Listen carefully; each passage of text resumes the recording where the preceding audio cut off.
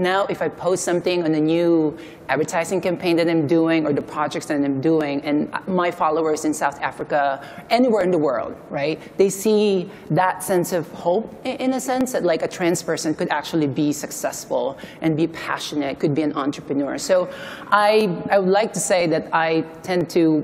you know, not apologize for all those I guess the, the, the, pride that I have with, with my identity, because when I, was, when I was starting out, I didn't see that reflection in the media. So